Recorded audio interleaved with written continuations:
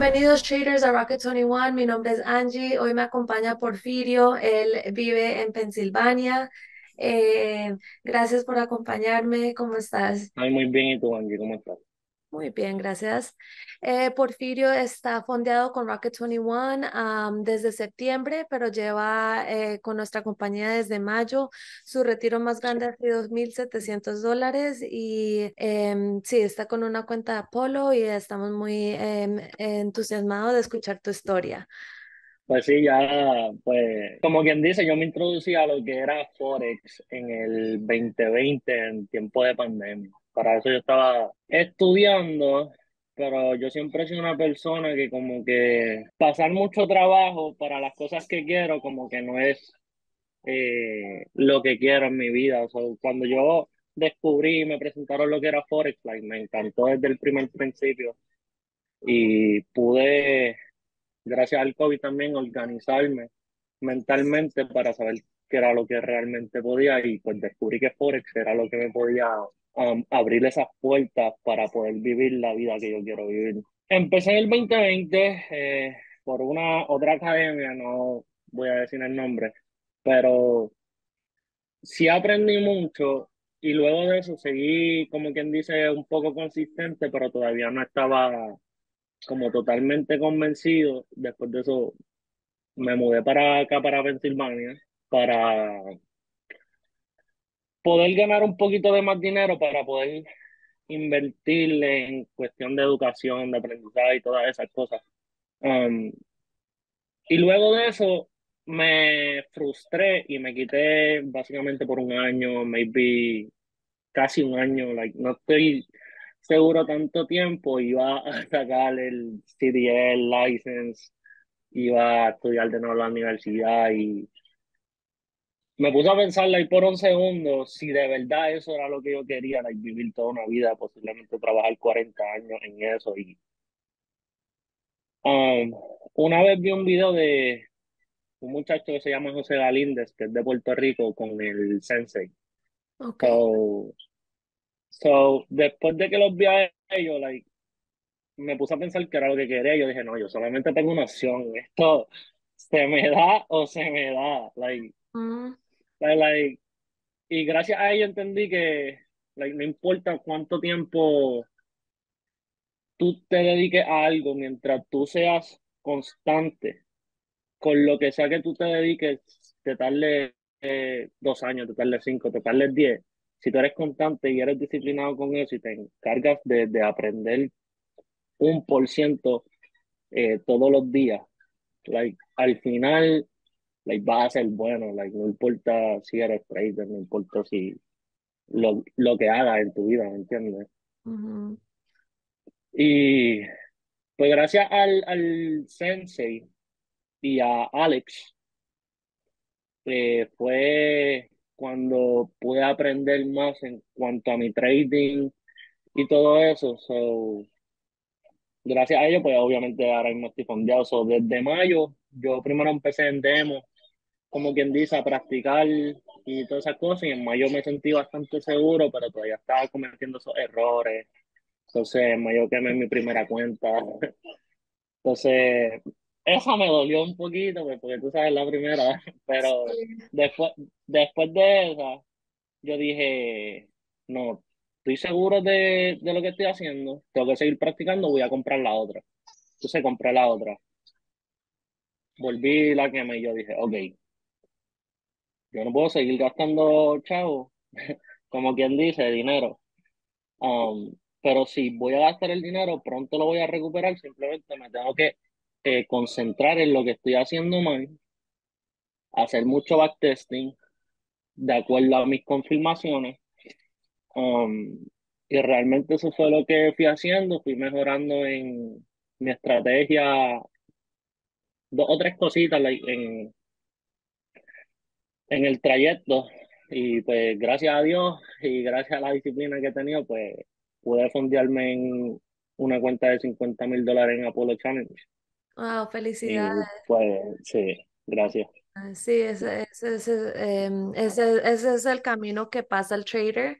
eh, Sí, uno, eh, you know, uno pasa ese momento donde uno lo quiere rendir y volver a lo que uno está acostumbrado, lo que es cómodo, pero uno, cuando uno sabe que, o sea, algo puede ser para uno y, y que, o sea, que hay algo más grande, o sea, que hay cosas diferentes que uno puede hacer, pero, y uno lo puede lograr, pero hay que dar el tiempo y la disciplina, la constancia, así como dices tú. Entonces, sí, es, es muy cierto. Em, entonces, tu, tu estrategia es, eh, tú, es como la, eh, es más o menos como la del Sensei o, la, o como la de Alex, tú lo sigues a ellos como en forma de la estrategia. Sí, eh, yo sigo más al Sensei que a Alex. Ujú, Eh, yo me concentré primero en lo que es el manual de vallas y, y todo eso, pero se me hacía eh, un poco complicado. Había muchas cosas que me gustaban, como es eh, el- los imbalances, eh, el order block, um, todo eso, pero en cuestión de como el sensei coge, al- coge las entradas, pues se me hace un poquito complicado a mí y like, entiendo que, que no todas las personas ven el gráfico de la misma manera. ujú, So, So, también me puse a consumir contenido de Alex, pero el contenido que consumí de Alex fue, eh, él hace como si fuese un podcast. Y lleva unos traders y, y pude like, coger unas cosas de unos traders que ellos mencionaban, que específicamente la más que me gusta es eh, la vela de cuatro horas, que abre, abre a las nueve de la mañana, si yo sé identificar para dónde se va a dirigir esa vela de cuatro horas, de nueve a una de la mañana, se me hace mucho más fácil eh, saber la dirección que estoy buscando y saber el, el order block que tengo que elegir. Entonces tú miras el, el, el Asian, London, el Asian Session No, para eh, New York, New York, Oh, el New York. Ah, porque tú dijiste de la sí, mañana. Ok.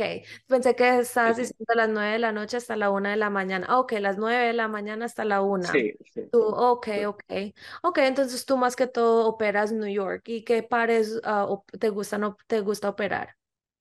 Eh, como el Sensei, solamente Euro USD. Ah, ok, ok, nice. Súper. Y te- tengo, tengo, tengo que añadir, otra cosa bien importante, aprendí también de Jeribel Castillo Ok. eh, a poder identificar un impulso, eh, ponerle el 50% y si está por encima del 50% busco venta y si está por debajo pues busco compras. Y, pues hay ventas que se dan muchas veces like, por debajo del 50%, pero pues, como no cumplen con mis confirmaciones pues simplemente no, no las tomo.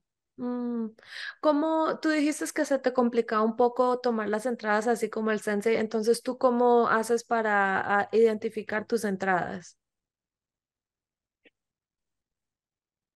Pues realmente es algo que me di cuenta en esta última y es eh, las entradas mías, eh, yo las identifico desde mucho antes. No sé si me entiende. Hay gente que, que espera al momento que ocurra un movimiento o, o algo, ¿no? Yo si, si, si no veo una entrada 30 minutos antes de las 9 o una zona que me guste, like, like, pues simplemente es un día que posiblemente no haga nada.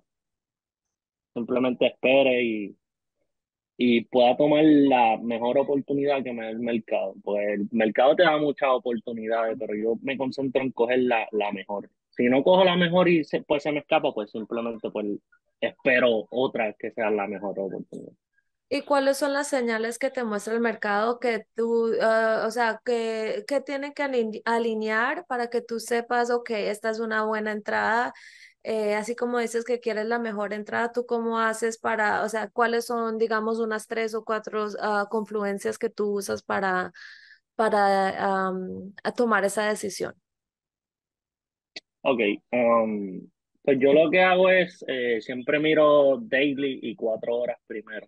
Ok. eh, iden- identifico eh, el impulso eh, que hace y pues esperando el, el retroceso.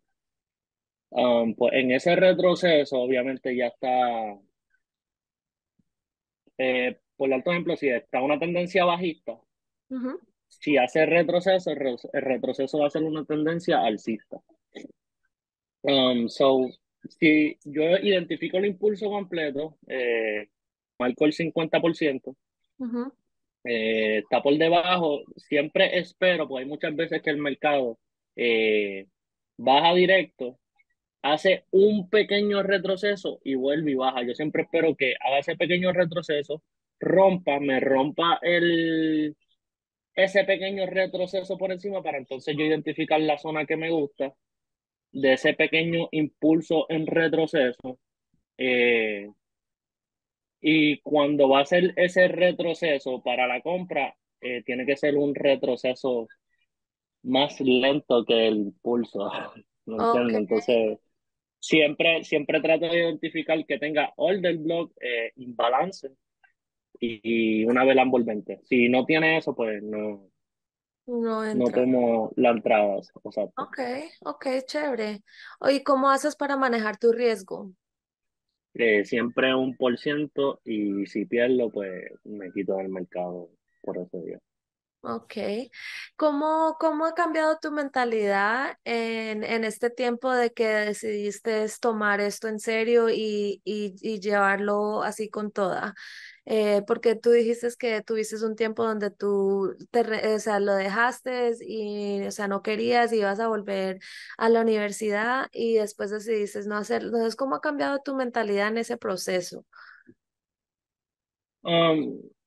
Pues sí, simplemente es eh, controlar la mente de uno. Pues, I mean, uno se, se frustra muchas veces cuando uno falla y falla y falla y falla y falla y falla. Like, antes de, de, de esta cuenta y de poder hacer el primer retiro, yo nunca había pasado por encima de 4% en profit.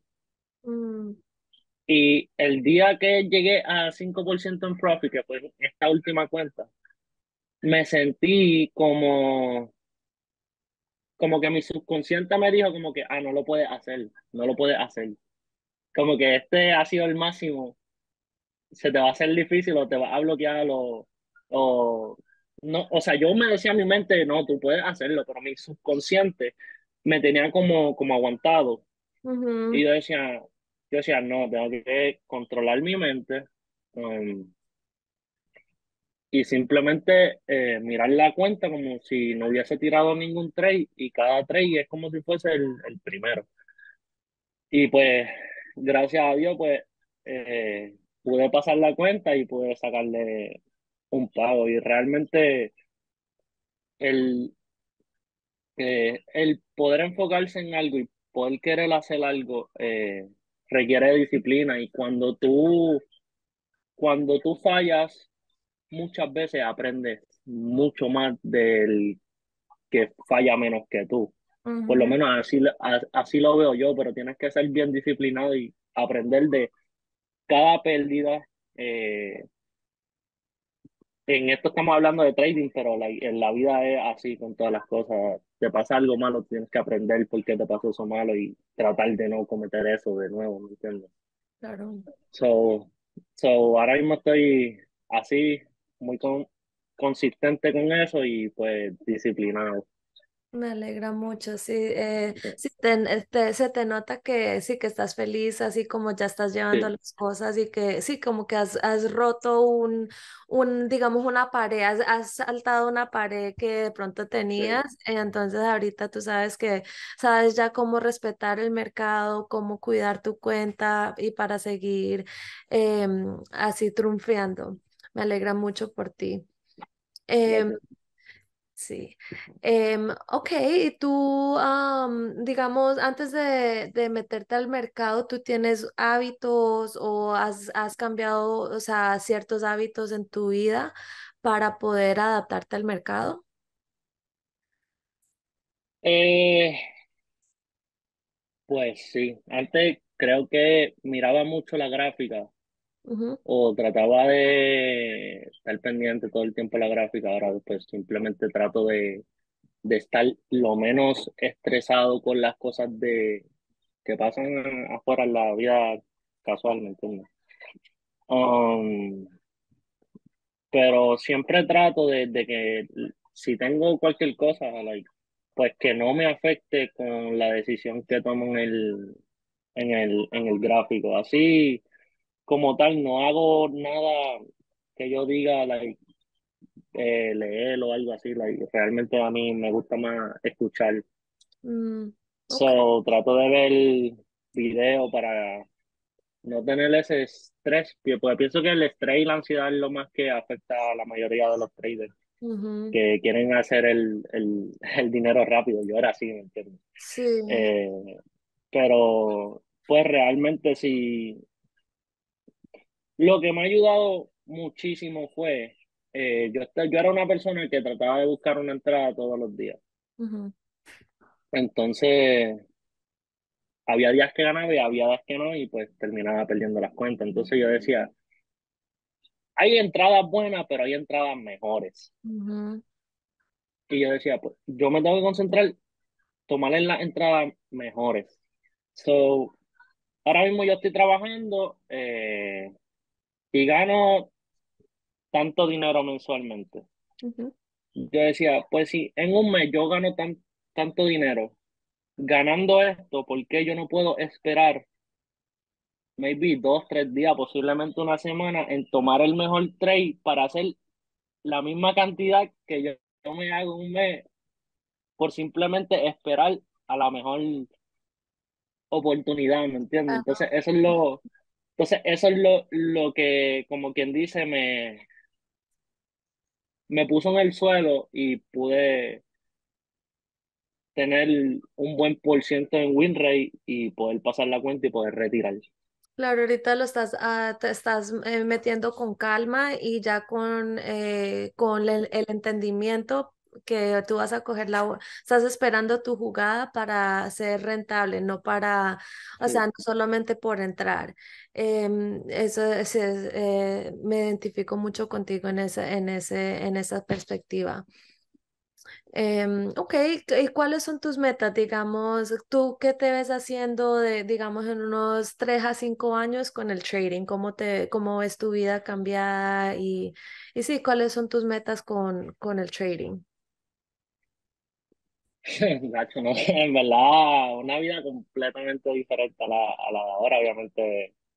eh, van a haber cosas que van a cambiar um, grandemente, como posiblemente el carro, casa, like, pero realmente oh, mi enfoque no está en eso. Yo por lo menos mi enfoque está, obviamente por mi hija, no quiero que pase el mismo trabajo que, que estoy pasando yo o que he pasado yo, ¿me entiendes? Y pues tengo mi, mi familia, poder retirar a mi mamá, eh, poder ayudar a, a mis otros familiares, a las deudas, que puedan vivir una vida tranquila. um, y pues poder eh, ayudarlos a ellos también a que empiecen a hacer trading, pues eso posiblemente también es algo que aguanta a muchas personas y las bloquea. Pues yo cuando empecé, mi mamá siempre me decía, ah, no, que no hagas eso, que termine el bachillerato, que qué sé yo, que más. Y yo le decía, no, mami, que, que es que, ¿para qué yo lo voy a terminar si esto es lo que me gusta? Y like,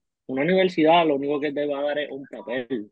Like, Ujú, like, ¿qué yo voy, qué yo voy a hacer con ese papel enganchado en, en la pared, ¿me entiendes?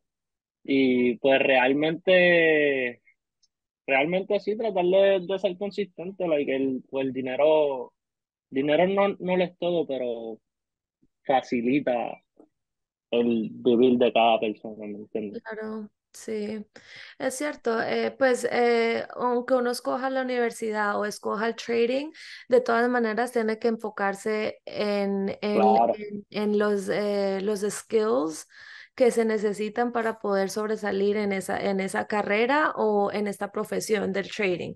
Entonces sí, es, es ah, solamente es otro camino, escogiste otro camino, pero no significa que no estás caminando hacia algo así como que como lo que puede dar una universidad. Y am, ah, pues yo sé que pasa mucho con los padres, eh, no sé si solo latinos, pero pues eh, yo también soy latina, entonces eh, pues al principio me pasaba así. Mi mamá fue la que me introdujo a mí el trading, pero em, Sí, también, o que vaya a la universidad, que saque una, car- eh, una carrera así, em, pero no fue hasta que me enfoqué en el trading eh, realmente, o sea, que yo dije, no, yo, yo no quiero hacer esto, yo no quiero hacer lo otro, yo quiero hacer el trading, que fue cuando yo empecé a ver resultados y ver la diferencia en mi vida. Entonces uno, sí, uno tiene que hacer lo que a uno le guste y lo que uno se, uno, porque uno, eh, Dios a uno le pone lo que, lo que sabe que, que uno puede salir adelante con eso. O sea, si, si, si uno no viera esa, esa, esa visión más grande, eso, uno no, no se esforza- esforzaría por aprender o, o, o, o, sa- o sa- sí, hacer cosas con, o sea, eh, a mejorar en esta, en esta profesión. Entonces, em, sí, me alegra mucho que has, has tomado la decisión, no, bueno, no voy a hacer la universidad pero voy a seguir mi corazón y voy a hacer el mejor en lo que estoy haciendo, en lo que decido hacer y no solo por mí, sino que por su familia también y eso pues es algo muy bonito. Exacto, exactamente. Em, ok, tú, am, ¿qué, tú tienes em, otros mentores o lees o qué, cómo- eh, tú qué haces para preparar tu mente? Eh, en cuestión del trading, ¿te sí, en cuestión de trading, sí. Pues, pues fue, fue algo súper raro lo que me pasaba. Um, porque antes, antes de, de poder ser consistente con, con las ganancias y eso, yo seguía al Sensei. O sea, lo sig- sigo siguiéndolo, like, no me malinterpretes, pero yo estaba, yo, yo estoy en su Telegram ahora mismo, pero yo hubo un punto en el que tuve que salirme de su Telegram porque me estaba como apurando, porque obviamente like, el Sensei tiene mucha más experiencia que yo en cuestión de años y de consistencia. ujú, So, cuando yo siempre que veía al Sensei eh, ganar un trade o, o coger varios trades y yo no podía cogerlo, like, me sentía eh, como con apuro, como que, diantre, me perdí esto de nuevo, me perdí esto de nuevo, me perdí esto de nuevo. Entonces yo dije, no, el proceso para cada persona es diferente. Déjame ujú, dejar de seguir al sensei por un ratito, por lo menos en el Telegram nada más, para, para poder enfocarme completamente en mi estrategia y like, empezar mi proceso. Like, ¿entiendes? O sea, el proceso mío es es diferente al de todo el mundo. Claro. sí, y así pues, pues pude enfocarme en las cosas que tengo que hacer y pues, pues me ha ido súper bien así. so, así me voy a mantener hasta el momento. Eh, pero sí, este, siempre, siempre haciendo backtesting, eh, sabiendo o no si, si hubo entrada o si no hubo, siempre trato de hacer 15 20 minutitos de backtesting um, y tratar de mantenerme eh, cumpliendo la, las confirmaciones y no siendo ambicioso. Me gusta que hayas dicho eso porque sí, una veces se enfoca mucho como en las otras personas o en los trades y sí trata de apurar el proceso. Entonces es chévere que tú hayas tomado un step back y eh, te enfoques en ti mismo. Eso es, es muy importante. Em, eh, bueno, entonces ¿tú qué le dirías a un trader empezando? Eh, ¿qué consejos le darías eh, en este camino?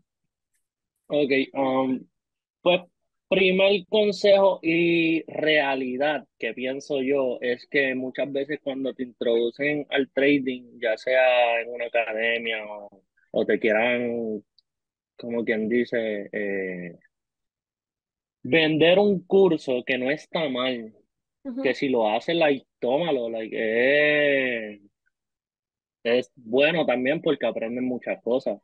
Um, pero te meten en la mente de que vas a hacer mucho dinero, que, que vas a tener libertad, vas a tener lo otro, pero nadie te dice que posiblemente vas a estar, diría yo, de seis meses a un año sin poder hacer un peso. Like, concéntrate en, en poder ser rentable, ¿me entiendes? Pues a- eso fue lo que me pasó a mí y por eso fue que me quité ocho o diez meses, posiblemente un año, porque no había podido hecho nada. So, yo no sé todavía de un trader que en menos de seis meses haya podido hacer, como quien dice, dinero, ¿me entiendes? So, se trata de, de concentrarte en lo que tienes que hacer, ser disciplinado, um, y que vas a fallar mil veces, pero te vas a levantar la mil una y te vas a levantar más duro de, de las mil veces. Like todos los que pasamos por el trading, todos, todos, todos, absolutamente todos fallamos al principio y nos sentimos mal, pero pues se trata de eso. Eh, volver a levantarte y seguir aprendiendo, como todo en la vida. Claro, sí, todo el mundo tiene su tiempo y, y su momento. Sí. Bueno, Porfirio, muchas gracias por tu tiempo, gracias por formar parte de la comunidad de Rocket 21. Me alegra mucho que hayas podido retirar y espero que sigas retirando y sigas creciendo en tu em, camino en el trading. Y sí, nos vemos en la próxima. Gracias, muchas gracias por acompañarme el día de hoy. Muchas gracias a ti, Angie. Que pases buen día.